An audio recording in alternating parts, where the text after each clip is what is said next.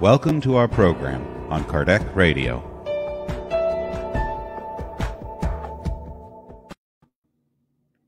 Hello, dear friends, and welcome to our daily prayer gathering on Kardec Radio, where we're nourishing our souls always, 24 7. There is never a break in the program. I welcome you all, dear friends. And today we will be turning our attention to exclusive beneficence, which we find in the Gospel according to Spiritism, chapter 13, item 20. Before we begin, let us pray, dear friends.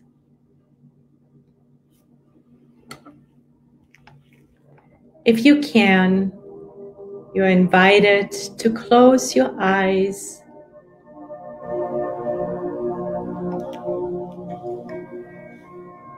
And let us envision a gigantic, powerful mirror in front of our souls. And we're turning it consciously towards on high, towards God, towards Jesus, our guide and model, towards all the spirits on high. We're saying hello. Hello, God. Thank you. Thank you for allowing us to be in this incarnation. Thank you for giving us this opportunity to walk the earth at this very pivotal time on planet Earth. Thank you for your trust. And we are here to connect our will with your will following your guidance wholeheartedly, wholeheartedly, and with conviction. We are always open to new lessons, to accumulating more knowledge, and to practicing it. And today, we are ready to open our hearts and minds to more information on beneficence, on loving our neighbors, no matter what and who and where they are and what they do. Thank you, dear God. And we're humbly asking for permission to begin. And so be it. Dear friends, thank you for joining. It's a pleasure. So, we're turning to the Gospel according to Spiritism. We're going to chapter 13, and it's item 20, and it's entitled Exclusive Beneficence. Allan Kardec has a specific question for St. Louis, who is giving him the answer. And what is so amazing, like everything about Jesus' teachings and the gospel, is the questions and the answers, the information are as if they were asked and answered for us today on planet Earth.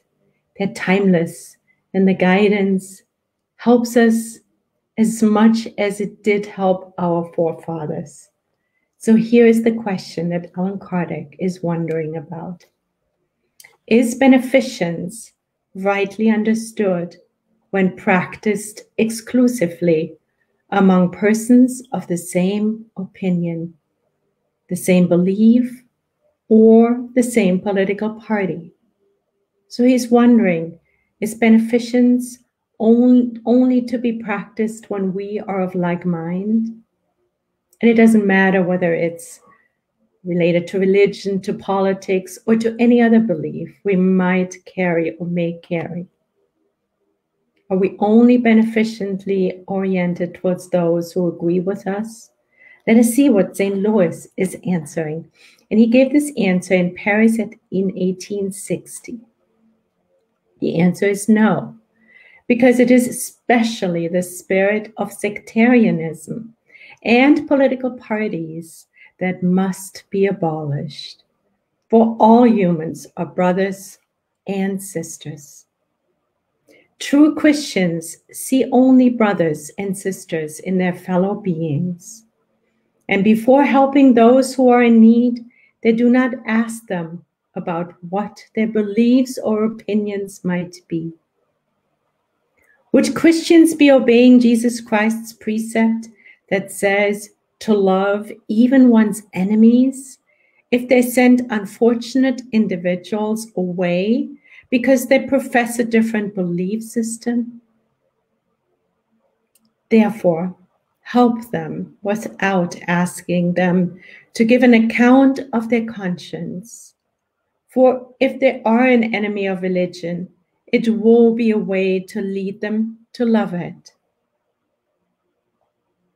Sending them away would cause them to hate it. What a beautiful piece of information for us this is. Today, St. Louis is inviting us to love God above all else and our neighbors as ourselves, no matter what the belief system is that anyone on this planet is holding. We are there to help them. We're not interested to find out what their beliefs are, where their, where their mind is going what their mind is holding. We are only interested in one fact, and that is to be of help no matter what, no matter who it is. We won't ask and interrogate before we loan a lending hand, before we open our hearts, before we share our sentiments of love of kindness. We're always indulgent and forgiving, and always, always goodwill towards all without any distinction. This message is so clear and so helpful for us today as we find ourselves on planet Earth where there is such a strong bifurcation going on one person is supporting this political leader, another one is that, is supporting that political leader. One person is pro vaccination, another one is against vaccination. One person is a spiritist, another one doesn't believe in God. And the list goes on endlessly. But we spiritists are invited to practice Jesus' maxim of loving all because we can't love everyone, including our enemies, if we profess to love God. This is being further underlined in chapter, and not only, but we just picked out this other item in chapter 12 of the Gospel Love Your Enemies, where Fenelon in Bordeaux in 1861, who is one of the spirits who actually also reports back from the other side in heaven and hell. He's one of the cases that is very eye opening and educational. Fenelon, in his chapter entitled Hatred, here in the Gospel according to Spirit, Spiritism, chapter 12, item 10, he says, Love one another and you will be happy. Don't we all want to be happy? friends. It sounds very simple, doesn't it? But today we're reminded again to love one another. Above all, he says, assume the duty of loving those who inspire you with indifference, above and beyond those spirits, those friends, those brothers and sisters who inspire us with indifference or who inspire us with hatred or scorn we are above all invited to love. And to love is, of course, fluidically impossible to love a so called enemy as much as we love a friend or a dear family member. But we can always practice beneficence. We can always practice a disinterested love. We can always be charitable. goodwill, indulgent, and forgiving. He says, Christ, whom you should make your model, gave you an example of such devotion. And Jesus is our guide and model, and we do look up to him. And Jesus modeled exactly this.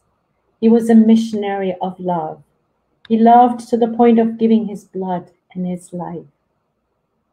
The sacrifice that obliges you to love those who offend and persecute you is painful. We know that.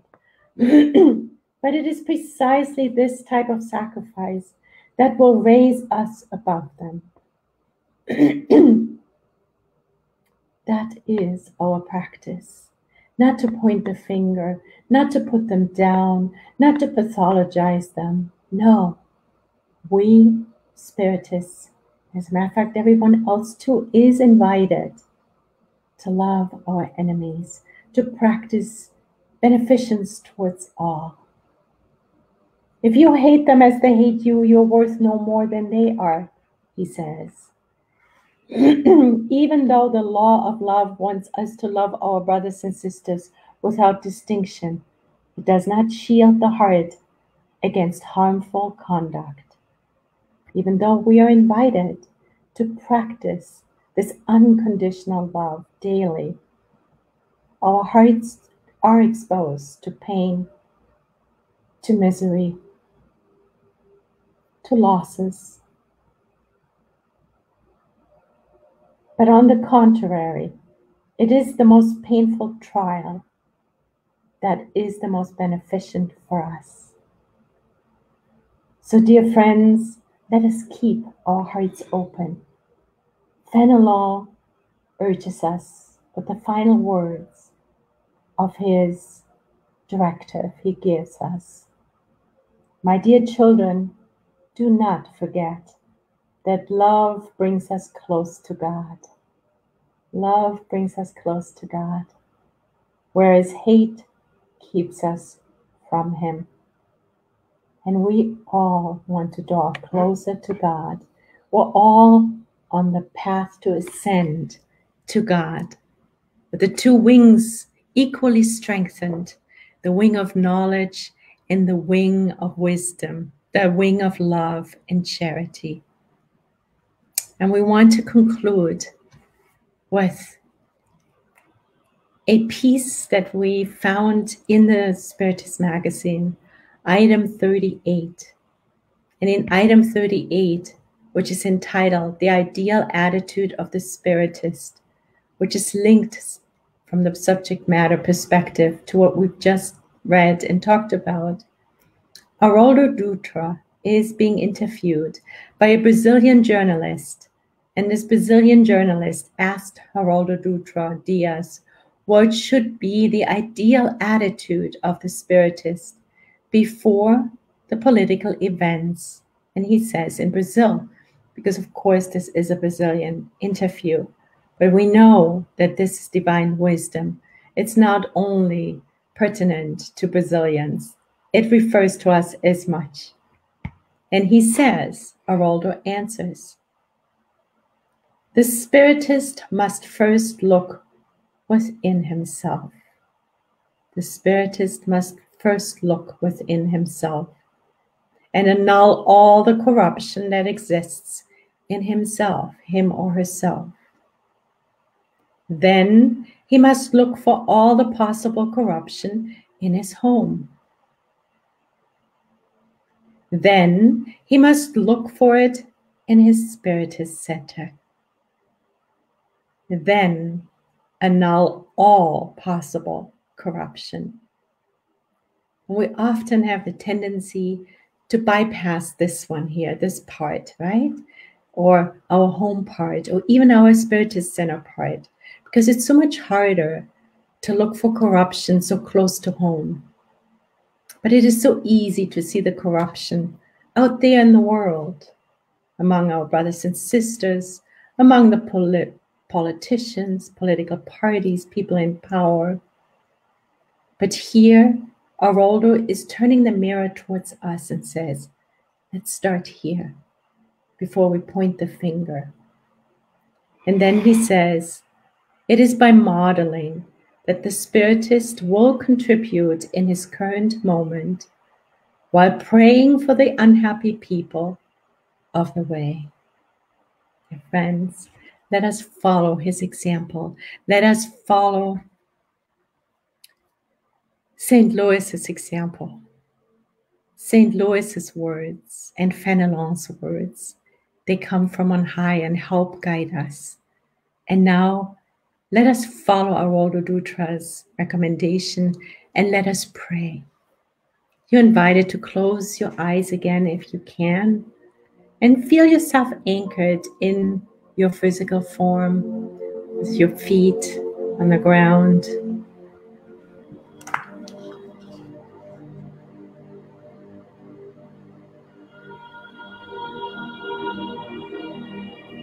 Dear God, beloved Jesus, and dear spirits on high, dear, dear mentors, dear Mother Mary, and all the guiding phalanges from on high who are surrounding us and are helping us continuously to become a more God centered, more loving and kind human being.